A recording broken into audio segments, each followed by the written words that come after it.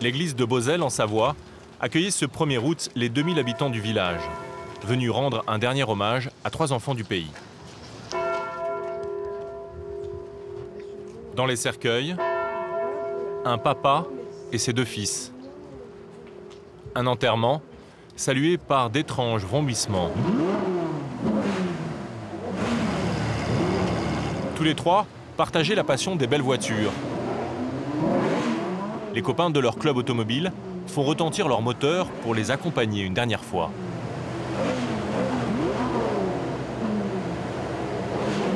Mais ce n'est pas un accident de la route qui les a fauchés.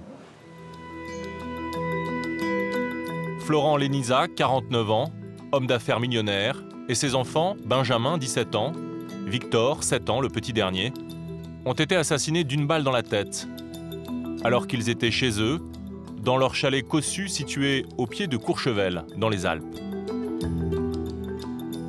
Dans le quartier, personne n'a entendu les détonations. Seul rescapé de ce massacre, la maman et la grande sœur, absentes au moment de la fusillade. Le choc est d'autant plus grand que ce geste fou aurait été perpétré par ce jeune homme de 23 ans. Ce n'est pas un rôdeur, mais le fils aîné de la famille, Jordan. Jordan, un garçon sans histoire et sans passé violent, mais qui entretenait des rapports conflictuels avec son père. Ce dernier lui reprochait son addiction aux jeux vidéo et surtout son manque d'ambition.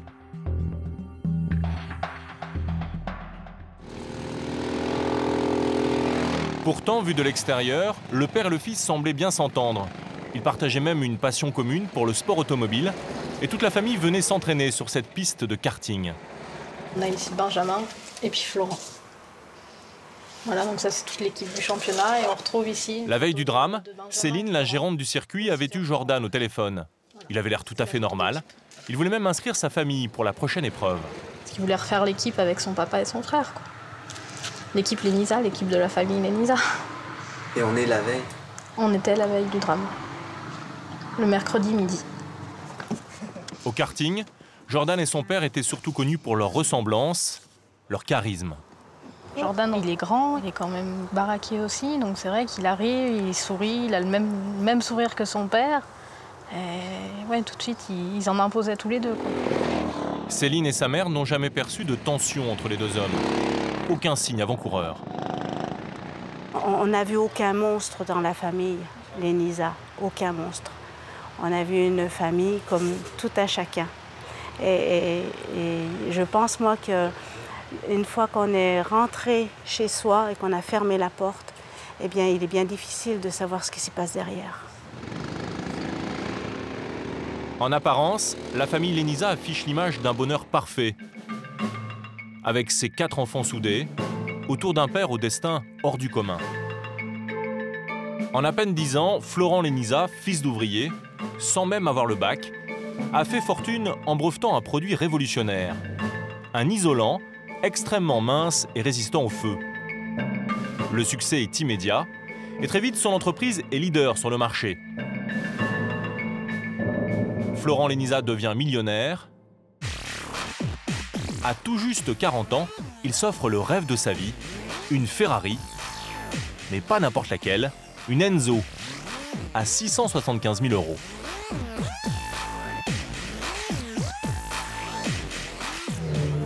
Sa réussite, Florent Lénisa sait aussi la partager. En juin 2011, avec son club automobile, il avait organisé cette journée de baptême en voiture de luxe pour une association caritative. À l'époque, il avait été interviewé par la télé locale. On a réuni un plateau euh, d'environ 50 autos de différentes marques, Porsche, Ferrari, Aston Martin, Maserati. Et ceci euh, pour euh, avoir des fonds pour euh, les pupilles, hein, les orphelins et pupilles euh, des pompiers. Ce patron bouillonnant savait fédérer les hommes autour de ses projets. Guy Pessé a été son bras droit pendant 4 ans. C'est un gars qui courait tout le temps et beaucoup d'idées, euh, 30 idées à la minute. Euh, c'est énorme, il faut arriver à le suivre. Euh, J'ai perdu quelques kilos. Florent Lénisa était aussi exigeant, très autoritaire. Ses coups de gueule étaient monnaie courante dans l'entreprise. Guy en a essuyé plus d'un. C'est vrai qu'il était dur avec tout le monde. Hein. Le moindre écart, la moindre imperfection sur un produit, euh, euh, ça gueulait, hein, c'est vrai, mais bon, c'était oublié cinq minutes après. C'est normal. On est là, on était là pour faire de la qualité, et là-dessus, il ne lâchait rien du tout. Et il y en a un que ce patron exigeant ne lâche pas, c'est son fils aîné, Jordan. Florent Lénisa est inquiet. Le jeune homme ne brille pas par ses résultats scolaires. Alors pendant les vacances, en 2004, il le met au travail dans son entreprise et ne lui accorde aucun traitement de faveur. Vincent était l'ouvrier qui supervisait Jordan. Avec lui, il déchargeait les rouleaux d'isolation. Il a assisté à des scènes terribles entre le père et le fils. Pour moi, Jordan, euh, c'était un petit garçon normal. Bon, il avait 15-16 ans, donc euh, un petit peu branleur sur les bords, quoi, comme tous les, comme tous les gamins. Mais euh, pas méchant, rien du tout.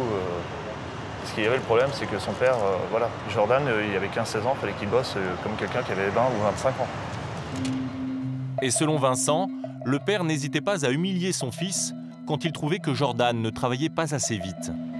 Il y avait 8 à 900 rouleaux d'isolation et Jordan m'aidait à les décharger et puis donc ça allait passer vite des fois, c'était, euh, c'est malheureux à dire, mais soit un coup de pied dans les fesses ou une claque sur la figure parce que ça avançait pas, quoi. il allait pas assez vite et tout ça. Dit bon, on restait un petit peu impuissant euh, devant ça. Et Jordan, comment il réagissait euh, quand son père était aussi dur avec lui? Eh ben, Jordan, devant son père, bah, vous avez trop rien dire parce qu'il savait que, à mon avis, s'il répondait, il en prenait plus. quoi. J'ai vu des parents qui étaient durs avec leurs enfants, mais jamais comme ça. Quoi. Ces conflits récurrents avec son père, ajoutés à ses problèmes d'adolescent comme ses déceptions amoureuses, vont finir par faire craquer Jordan. À 18 ans, il fait une fugue et tente même de se suicider. Petit à petit, il tombe en dépression. Elle est tellement profonde qu'il faut l'hospitaliser. Quand il en sort, Jordan obtient tout de même son BEP vente et accepte de continuer à travailler avec son père, mais cette fois-ci comme commercial. Et encore une fois, ça se passe mal entre les deux hommes. Des disputes éclatent. Pour son père, Jordan ne s'investit pas assez. Au bout d'un an et demi, il quitte l'entreprise et le domicile familial pour s'installer dans un studio à 300 mètres du grand chalet, un loyer payé par ses parents. Mais l'indépendance n'empêche pas les conflits. Jordan va de nouveau mécontenter son père parce qu'au lieu de travailler, il reste souvent enfermé chez lui. Des jours et des nuits durant, il est rivé à son ordinateur, à jouer à des jeux vidéo. Jordan est adepte de ce jeu de rôle en ligne qui fait fureur chez les ados. Le joueur est plongé dans un univers médiéval avec ses rites, ses codes et sa propre langue, aux intonations slaves.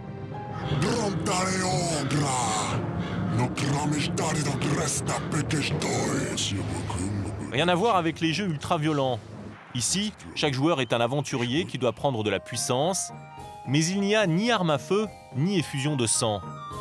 Dans ce monde virtuel, Jordan est un excellent joueur, mais un joueur un peu particulier. Il a choisi comme pseudonyme Dark Knight, Chevalier Noir. Et sur sa fiche de présentation, rien ne correspond à sa vie, tout est inventé. Photo à l'appui, il prétend être un jeune patron à qui tout réussit. J'ai plusieurs sociétés. Produits entretien auto, boissons énergisantes et trois boîtes de nuit. On peut aimer jouer et travailler. À force de jouer, Jordan aurait-il perdu tout sens des réalités? Aurait-il voulu éliminer son père qui lui renvoyait cette mauvaise image de lui? Car c'est après avoir passé une nouvelle nuit à jouer que Jordan va décimer une partie de sa famille. Le jour du drame, la maman de Jordan rentre chez elle vers 18h. Quand elle ouvre la porte, son fils qui a déjà tué son père et ses frères lui saute dessus. Il tente de la tuer à coups de bûche. Blessée à la tête, elle parvient à s'enfuir et alerte les gendarmes. Les gendarmes retrouvent le jeune homme devant la maison il paraît comme ailleurs, hagard, prostré. Selon le vice-procureur, Pierre Filiard, Jordan s'est rendu sans aucune violence. Il est extrêmement difficile à cerner. Euh, ne contestant pas forcément les faits, mais donnant l'impression de ne pas se rendre compte réellement de ce qui s'est passé, et en disant que ce n'est pas possible qu'il l'ait fait. Mais euh, les enquêteurs se sont demandé pendant 48 heures s'il réalisait réellement euh, de quoi il était responsable. En quel moment il dit j'ai tiré sur mon père, j'ai tiré sur mon frère Il ne le dit pas comme ça. Il ne le dira jamais comme ça. Notamment, il prétend n'avoir aucun souvenir de certaines scènes. Il dit qu'il a des flashs où il, voit, il se voit avec l'arme à la main et il voit des corps tomber, mais il est incapable de dire lesquels, et dans quelle pièce et dans quelles circonstances exactement. L'état second dans lequel semble se trouver Jordan attire l'attention des enquêteurs. Y aurait-il un rapport entre le jeu vidéo et son coup de folie? Serge Tisseron, un psychiatre qui étudie le comportement des joueurs accros aux jeux vidéo, ne le pense pas. Dans un jeu vidéo ou dans un espace virtuel, on peut euh, développer des attitudes mensongères, des attitudes manipulatrices, et si ça marche, on peut avoir envie aussi de les développer dans la vraie vie. Mais on ne peut absolument pas euh, développer le désir de tuer quelqu'un dans un jeu vidéo. Les enquêteurs se posent maintenant plusieurs questions. Comment Jordan s'est-il procuré son arme?